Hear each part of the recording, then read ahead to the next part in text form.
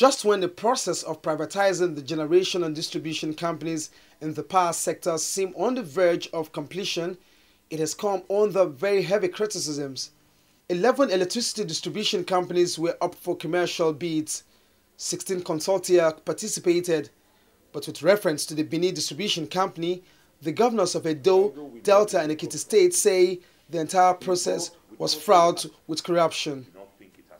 Here in this room, with members of the National Council on Privatization, the technical committee chair is responding to those allegations. On the allegation that the bid process was not transparent, I wholeheartedly affirm that the entire transaction followed due process and was governed by the provisions of the RFP.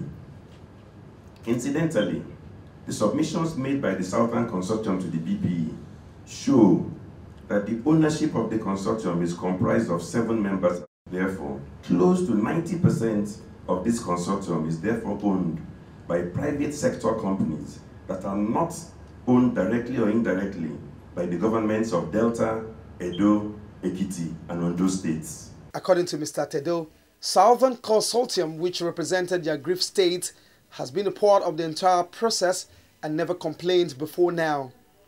Seeking to rewrite the rules after a game has been played is unacceptable and certainly does not conform to global best practice. Likewise, accusations of corruption, which are not based on the provision of an iota of evidence, are also unacceptable. On the allegation of lack of competence by Vigeo, which emerged for the Benin Disco, the council says three evaluation teams examined the technical bids and all requirements were met. EFCC, the ICPC, and the SSS also observed the entire process from bid submission to the conclusion of evaluation. Leads were assigned to the evaluating teams by balloting to ensure that no evaluator had any prior knowledge of which bid he or she would evaluate. Some of the criteria evaluated were experience in operation and maintenance of distribution companies, experience in developing countries, technical and investment plan, management and staffing, and finally, financing plan and ability to raise finance. The power sector is undergoing reforms. That alone has raised mixed reactions. Government say it means well for the sector, but arguments in other quarters suggest that the sector borders on national security and should be carefully treated.